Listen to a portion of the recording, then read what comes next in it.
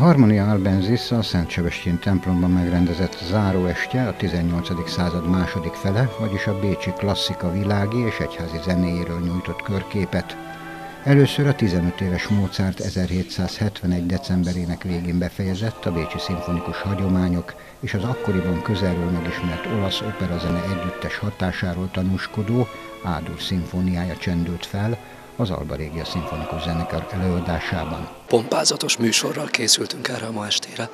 Eh, Haydn Schöpfungsmesséje és Mozart 14-es számú Ádur szimfóniája. Eh, két nagyon különböző, de, de nagyon magas minőségű remekmű.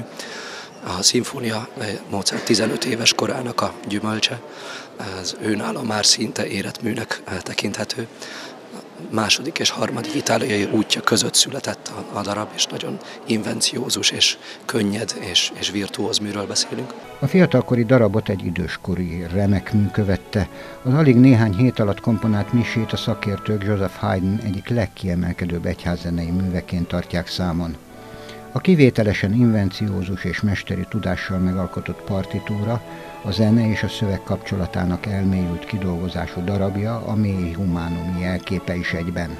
Haydn Schöpfungsmesséje pedig egy B-dorban írodott méltóságteljes ünnepi mise, csodálatos kórus és csodálatos szóló szólamokkal, és bizony még a, még a zenekari játszani való is a, a misékhez képest nagyon gazdagon díszített és nagyon gazdagon harmonizált anyag. A szép számú klasszikus zenebarát előtt az Alba Régia Szimfonikus Zenekar partnerei Zemlényi Eszter, Balog Eszter, Csapó József és Neubauer Lóránt énekművészek, a Vox Mirabilis kamarakórus és az Ars Musica kórus tagjai voltak.